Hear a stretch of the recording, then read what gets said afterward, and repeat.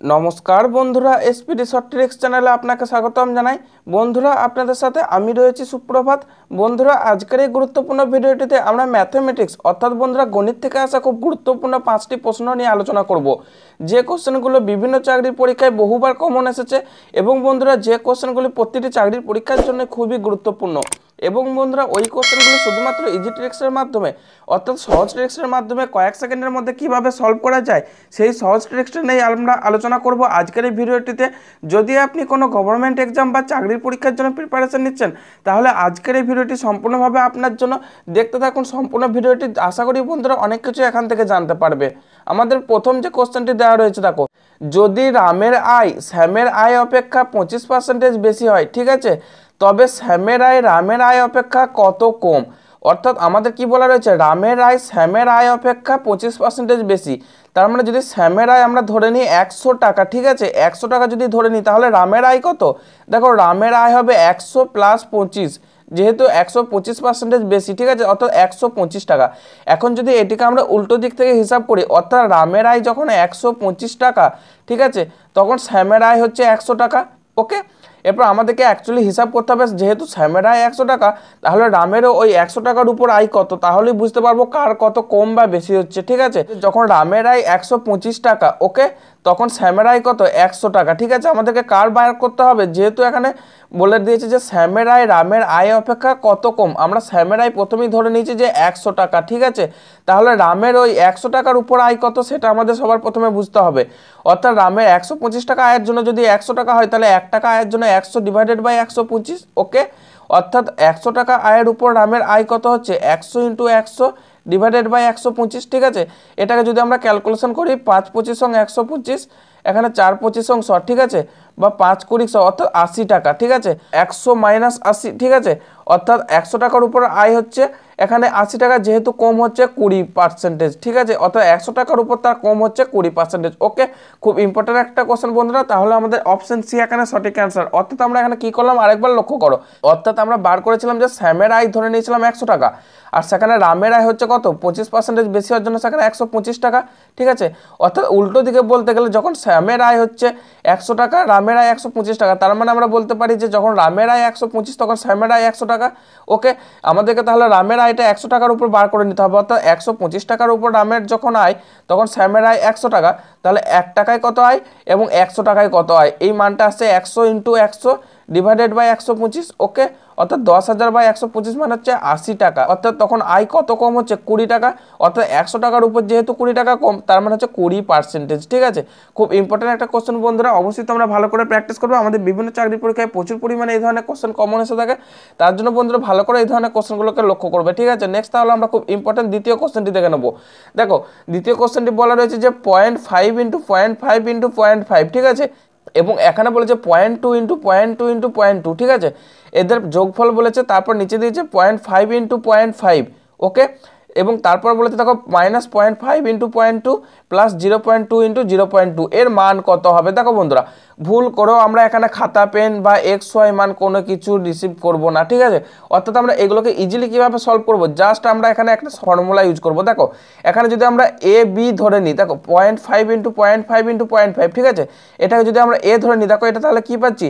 Point ফাইভকে যদি আমরা এ ধরে নিই, তাহলে দেখো ওই মানটা পাচ্ছি এ ইন্টু এ ইন্টু এ ওকে কী পাচ্ছি? এ ইন্টু এ ইন্টু এ মানে হচ্ছে এ কিউ ওকে আবার দেখো, উপরের মানটা এখানে জিরো পয়েন্ট টুকে যদি আমরা বি ধরে নিই, ঠিক আছে? Zero point two into zero point two into zero point two মানে হচ্ছে দেখো বি কিউ কী পেলাম? উপরেরটা পেলাম A cube plus B cube অর্থাৎ উপরের এই মানটাকে পেলাম A cube plus B cube ঠিক আছে?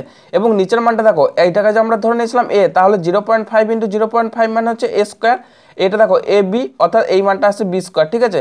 অর্থাৎ নিচের মানটা কি পেলাম? A square minus A B plus B square okay তাহলে এই মানটার মান কত? এ প্লাস বি কেন বলো তো?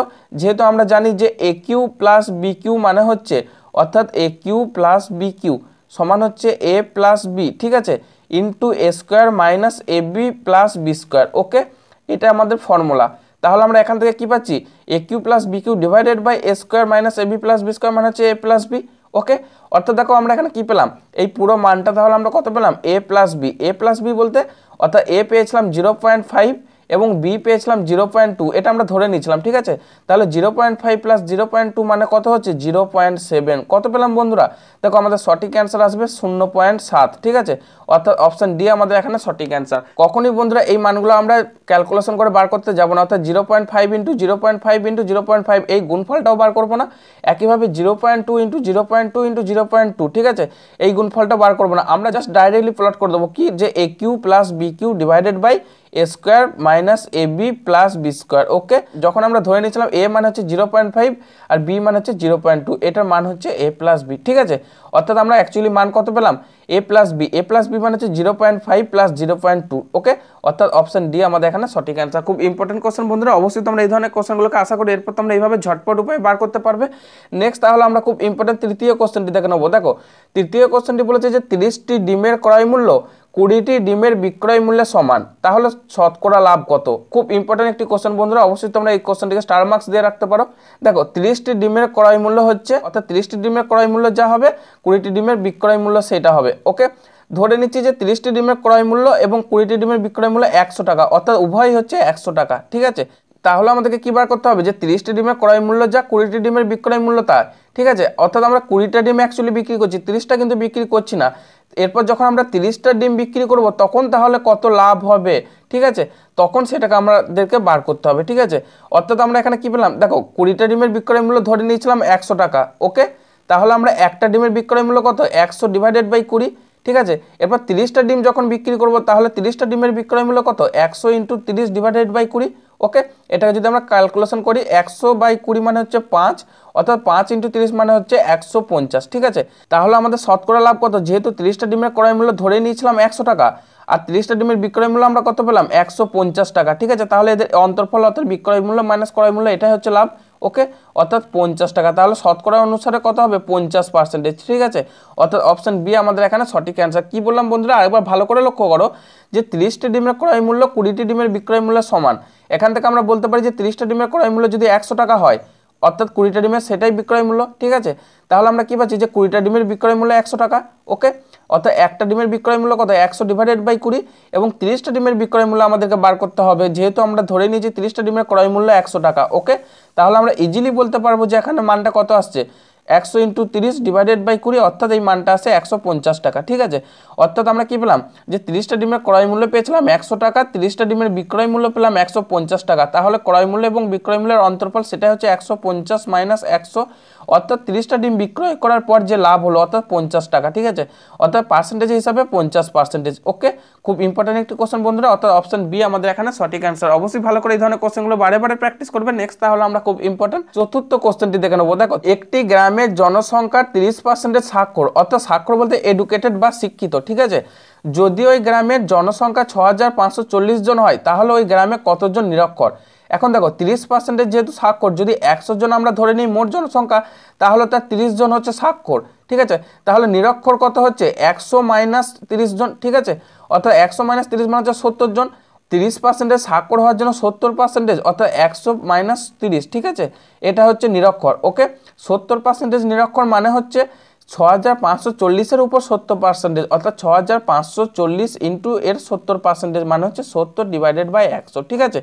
এর মানটা কত আসছে দেখো, এটাকে যদি আমরা ক্যালকুলেশন করি, দুটো শূন্য এখানে কেটে গেল, সাত চারে আটাশ পাঁচ সাতে পঁয়ত্রিশ, সাত দুই সাঁত্রিশ ছ সাতে বিয়াল্লিশ আর তিনে পঁয়তাল্লিশ, অর্থাৎ চার হাজার পাঁচশো আটাত্তর, ওকে?